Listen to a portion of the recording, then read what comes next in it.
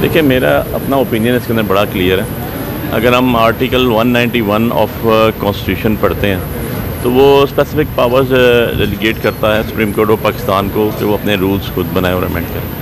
सो so, उसके अंदर ये है कि 1980 के जो सुप्रीम कोर्ट के रूल्स हैं उसको अमेंड करने का इख्तियार एज़ पर एज़ आर्टिकल 191 मेरी अंडरस्टैंडिंग के मुताबिक जो है वो सुप्रीम कोर्ट के पास है। अब अगर आपने उसके अंदर अमेंडमेंट करनी थी तो पहले तो आपको लेजिस्लेशन करनी चाहिए थी कॉन्स्टिट्यूशन अमेंडमेंट करनी चाहिए थी। कॉन्स्टिट्यूशन अमेंडमेंट में 191 के अंदर कुछ एडिशन या कुछ सब्सट्रैक्शन जो भी आपने करना था, वो होती with the approval of two third majority then उसके बाद ये प्रॉपर इम्प्लीमेंट होता एज़ फार एज़ मेरी अपनी इंटरप्रटेशन के मुताबिक। अगर 191 अपनी जगह स्टिल मौजूद है, और आप ये नया बिल लेकर आ जाते हैं तो ये कॉन्ट्रडिक्शन जन्म ले लेगी।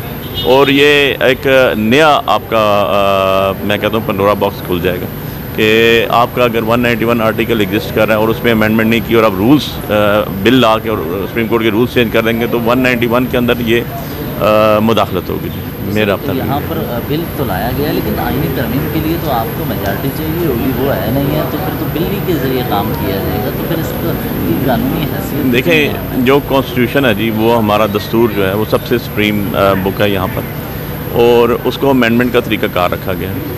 और उसकी अमेंडमेंट के लिए टू थर्ड मेजोरिटी रखी गई इसीलिए कि आम फैम आम जो आपकी सादा अक्सरियत से कोई भी अमेंडमेंट्स कॉन्स्टिट्यूशन के अंदर ना हो क्योंकि वो आपकी बेसिक बुक है।